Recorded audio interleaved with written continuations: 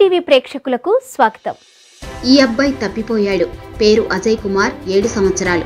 తల్లిదండ్రులు లక్ష్మీదేవి రెడ్డప్ప. హిందూపురం చుట్టుపక్కల పల్లెటూరు అని చెబుతున్నాడు.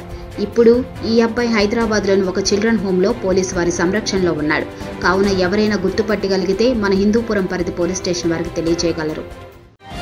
టుడే టీవీ ప్రతిక్షణం ప్రజాపక్షం.